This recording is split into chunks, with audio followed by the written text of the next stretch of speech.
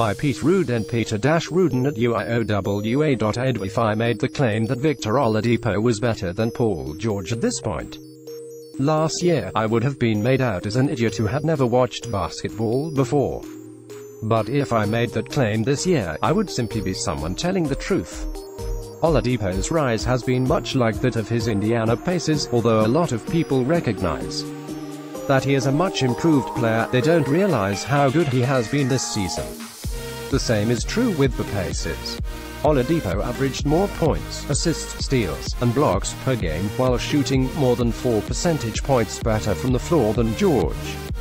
Digging a little deeper, Oladipo's net rating of 6.4 is clearly better than George's 3, meaning the Pacers' point differential to 100 possessions with Oladipo on the floor is much better than the Thunder's with George. Yet somehow, George wanted to be treated as an almighty superstar when he failed to make an All-NBA team, to lead a decent squad to anything better than a no.